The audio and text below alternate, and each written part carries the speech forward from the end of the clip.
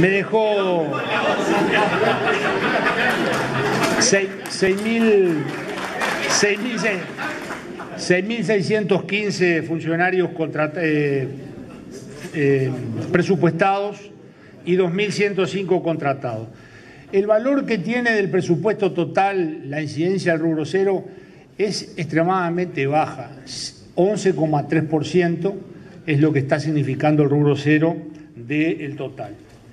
Acá viene alguna de las partes que quizás más me han preguntado algunos de los diputados y tiene que ver con el volumen de las transferencias que hemos hecho. En el 2016, de acuerdo a los requerimientos que se nos había hecho por la OPP, primero transferimos 60 millones de dólares, después transmitimos 140 extras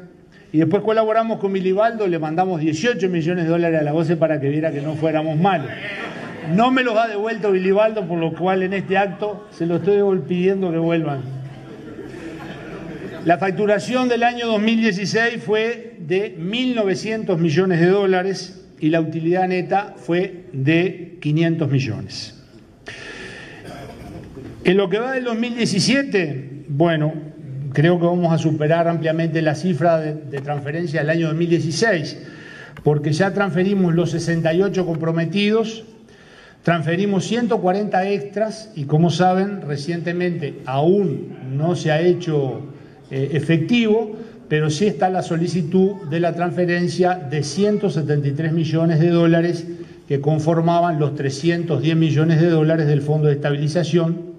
que como todos saben tenía el objetivo de sopesar eh, un salto abrupto en las tarifas en caso de ser afectado nuestro país por una situación este, extrema de condicionantes climáticas. Eh, por lo tanto, ya verán que este año ampliamente supera las transferencias del año anterior. La facturación estimada eh, para este año van a ser unos 100 millones de dólares más, por lo que calculamos que va a estar en los 2.000 millones de dólares y la rentabilidad va a rondar también entre los 495 y los 510 millones de dólares de ganancia.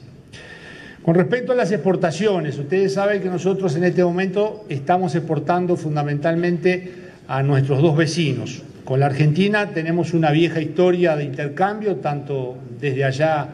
para acá comprando como nosotros ahora exportando. Pero a partir de la, de la conversora de frecuencia, que se terminó recientemente de tomar posesión por parte de UTE en Melo, estamos en condiciones de poder exportar o importar, en caso de ser necesario, esperemos que no, y con el plan de trabajo que tenemos en adelante,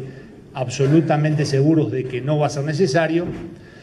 Esa reconversora lo que permite es pasar de 50 a 60 Hz, con lo cual vamos a compatibilizar nuestro sistema con el sistema brasilero y de esa manera de ida y vuelta, si viene desde allá se sube y si va desde, desde acá hasta allá, para allá se baja.